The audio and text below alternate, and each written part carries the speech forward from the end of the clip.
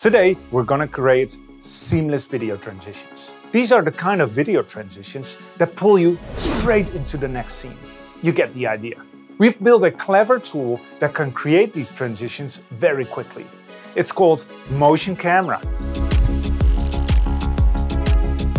I've already applied Motion Camera in between two clips. By default, it doesn't really do that much, but let's click it and dive into the Effects Controls tab. Now open up the Continuous Motion Controls and Temporal Motion Controls. What I want to show you is the difference between the temporal and the continuous motion controls. Let's add some rotation and play it back.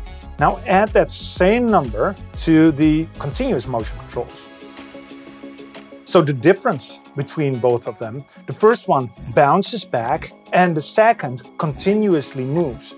Now that we've seen the functionality of the continuous and temporal motion controls, let's play with them and put together a powerful video transition. I'll just reset both the continuous motion and temporal motion controls. So what I'm gonna do is create a continuous zoom out and by adding a negative zoom factor. And let's go all the way to minus, minus 600 and see what happens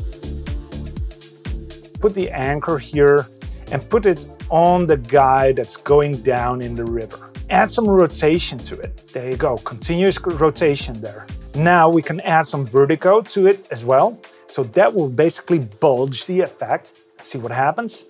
Very effective. And there might be some repeated edges here, as you can see. Let's see if we can remove that and add some temporal zoom and add some temporal vertigo, counter rotate, and now we've lost the repeated edges, and I think now we're good. Check it out. Very powerful. If you don't have time to tweak the transition, I suggest you try and select one of the presets that come with this plugin. If you feel lucky, hit the Surprise Me button and see what it brings to you. Motion Camera is designed for creating seamless video transitions. This plugin is part of the Film Impact Big Bang. Try it yourself Get 30 days of free access by visiting filmimpact.com. Stay creative, and I'll see you next time.